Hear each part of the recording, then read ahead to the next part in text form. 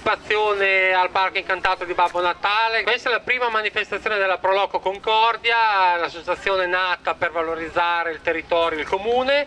Vi volevamo dire intanto che abbiamo una bellissima mostra di presepi nella casetta che è bellissima, sono presepi da tutta Italia. Il prossimo anno cercheremo di farli venire da tutta Europa.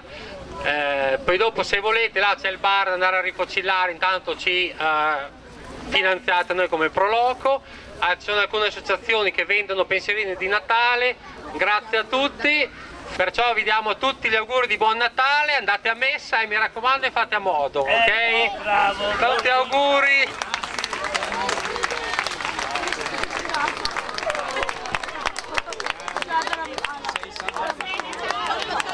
Che Natale sarebbe senza Gesù?